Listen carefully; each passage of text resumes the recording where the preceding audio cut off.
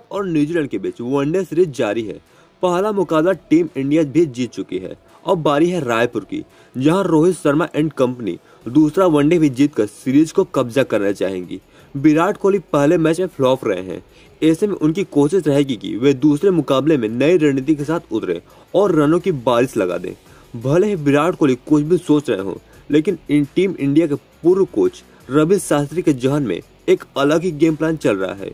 रवि शास्त्री नहीं चाहते कि विराट कोहली न्यूजीलैंड के खिलाफ वनडे सीरीज़ खेलना जारी रखे।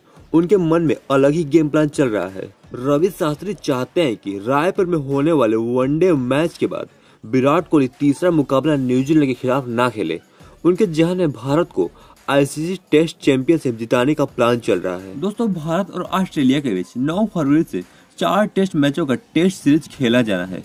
भारत के लिए यह सीरीज़ जीतना हर हाल में अहम है। जून में इंग्लैंड की धरती पर वर्ल्ड टेस्ट चैंपियनशिप का फाइनल मुकाबला खेला जाना है। कंगारू पहले ही लगभग फाइनल में अपनी जगह पक्की कर चुके हैं, लेकिन भारत के लिए आगे का सफ़र इतना आसान नहीं है। रोहित शर्मा एंड कंपनी को साउथ अफ्रीका और श्रीलंका से फाइनल के दौर के लिए बड़ी टक्कर मिल रही है। दोस्तों, रवि शास्त्री ने स्पोर्ट क्रीडा की वेबसाइट से कहा कि, मैं हमेशा से यही मानता हूँ कि आपको ज़्यादा से ज़्यादा फ़र्स्ट क्लास क्रिकेट खेलना चाहिए। खास तौर पर ऐसे वक्त पर जब आपको भारत में आगे काफ़ी टेस्ट मैच खेलना है, मैं महसूस करता हूँ कि इंडिया के टॉप प्लेयर्स ज़्यादा फ़र्स्ट क्लास क्रिकेट नहीं खेलते। दोस्तों, रवि शास्त्री ने आगे कहा कि इस वक्त काफ़ी क्रिकेट खेला जा रहा है। यही वक्त है जब आप ज़्यादा रिस्क नहीं लेना चाहते हैं। इस वक्त आपको थोड़ा स्मार्ट होने की ज़रूरत है। कुछ मुकाबले छोड़कर आपको बड़ी पिक्चर की तरफ़ ध्यान देना होगा।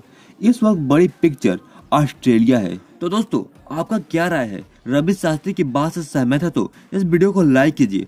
और यदि आप हमारे चैनल पर नए हैं तो इस चैनल को सब्सक्राइब कीजिए, जिससे आगे आने वाली वीडियो का नोटिफिकेशन आपको सबसे पहले मिलेगा।